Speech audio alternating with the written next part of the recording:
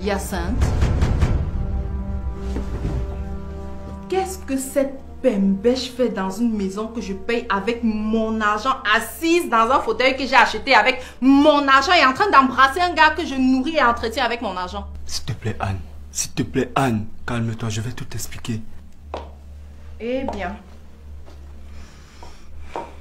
J'attends ton explication et j'espère qu'elle sera convaincante. En fait, elle passait par là et un objet est tombé dans son œil. Donc je l'ai dit à... Et en plus, l'imbécile veut se foutre de ma gueule. Attends, tu te payes ma tête ou quoi?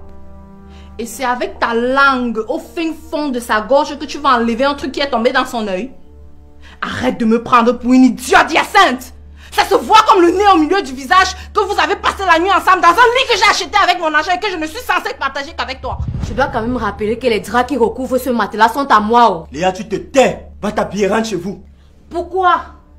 Parce que madame est fâchée. Tu ne penses pas que c'est l'occasion de mettre les pendules à l'heure et de définir la vraie place de chacune? Je t'ai demandé de la boucler. Parce que tu penses que tu occupes quelle place Mais Ferme-la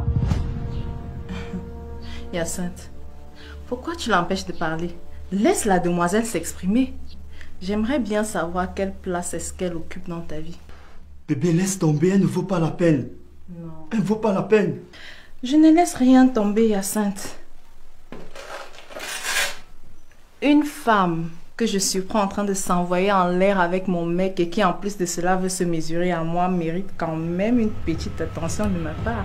Hein ma chérie?